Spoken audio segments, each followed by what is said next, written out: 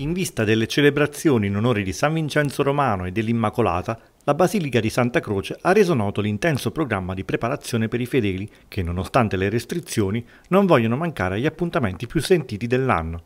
Ai microfoni di TV City, Don Giosuè Lombardo ci spiega in che modo sarà possibile la partecipazione alle funzioni. Ieri abbiamo reso pubblico il cammino, noi non diciamo tanto il, il programma, il cammino verso le prossime celebrazioni. E così abbiamo dato eh, conferma di quello che già tutti sanno, che le conosciute vicende anti-Covid anche quest'anno non potremo realizzare la tradizionale processione per le strade cittadine, proprio quest'anno in cui ricorrono i 160 anni del voto all'Immacolata. Proprio perché ricorre i 160 anni del voto, allora come potrete vedere il programma è ancora più nutrito di celebrazioni e di presenza in basilica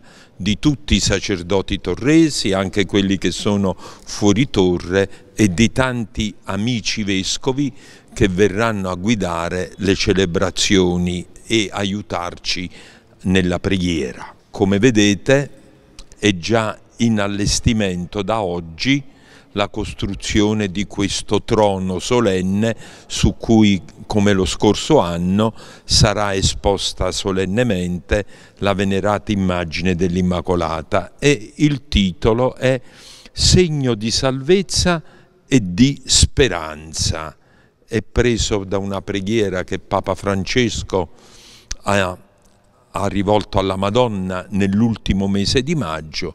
Mi colpì già allora questo titolo col quale la Madonna veniva invocata dal Papa, lo riportiamo questo titolo sul nostro trono, segno di salvezza e di speranza in questo tempo di difficoltà. Cominciamo da sabato prossimo le celebrazioni in preparazione alla festa di San Vincenzo e cominciamo proprio con la giornata di intercessione del 20 del mese. Come molti sanno, il 20 di ogni mese noi dedichiamo una giornata particolare di intercessione e davanti a Gesù nella messa e nell'adorazione vengono nominati i nomi di tutti gli infermi che ricorrono alla intercessione del Santo. E poi tutta la settimana ci condurrà alla festa del 29 quando avremo con noi il nostro arcivescovo e tutto il presbiterio. Per questa celebrazione purtroppo i posti saranno su prenotazione con un ticket con un biglietto per poter accedere in Basilica, ma proprio per non lasciare nessuno lontano, la celebrazione sarà trasmessa in diretta alle 18.30 sui canali social della Basilica e anche su TV City e anche poi alle 20 di quella sera trasmetteremo il Vespro e la benedizione solenne. Secondo momento solenne, l'Immacolata che ci porta verso il Natale.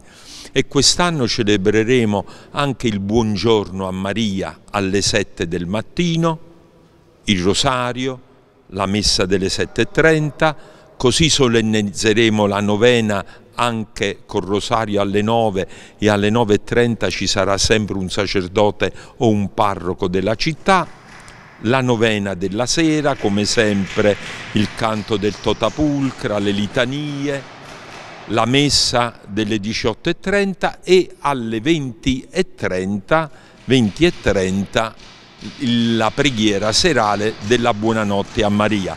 Anche questa preghiera serale della buonanotte sarà trasmessa in diretta su TV City. Per il giorno 7, ecco, la vigilia, ci sarà una celebrazione particolare alle 13 con i portatori del carro e alle 14 faremo l'atto di affidamento della città all'Immacolata. Quest'anno possiamo celebrare anche la messa di mezzanotte tutta la notte la basilica resterà aperta per la venerazione dell'Immacolata e per l'adorazione dell'Eucarestia e ci sarà la prima messa alle 4 e poi ogni due ore.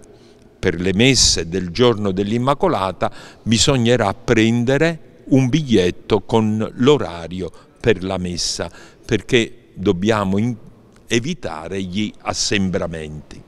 Infine un messaggio di speranza per tutto il popolo torrese, privato anche quest'anno della solenne processione.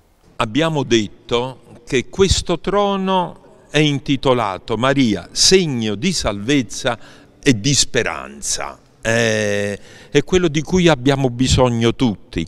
Innanzitutto guardare a lei perché lei ci porta a Gesù, per Maria a Gesù abbiamo citato San Vincenzo Romano che in, sua, in un commento mistero, a un mistero del Rosario diceva così San Vincenzo, fedeli miei, siate devoti della Madonna, una sola parola di Maria Santissima al suo divin figlio basta far ottenere qualunque grazia, quindi guardare Madonna, alla Madonna segno di salvezza che ci conduce a Gesù. E qual è il frutto poi della salvezza? La speranza, la speranza cristiana, che è la capacità di guardare il sole che splende al di là delle nuvole. Io sono un uomo di speranza, diceva un autore, perché ogni mattina Dio appende il sole fuori della mia finestra. Ecco, il sole della nostra vita è Gesù che viene, ritorna per noi nel prossimo Natale in compagnia di, del nostro parroco santo e guardando alla Madonna prepariamo il cuore, il cuore, la vita, le famiglie ad accogliere Gesù. I segni esterni del Natale passano, ci rimane Gesù che ci fa vivere da uomini salvati e portatori di speranza nella vita feriale, nella vita di tutti i giorni. Quindi come sempre buon cammino, guardiamo in alto, guardiamo la stella e invochiamo Maria.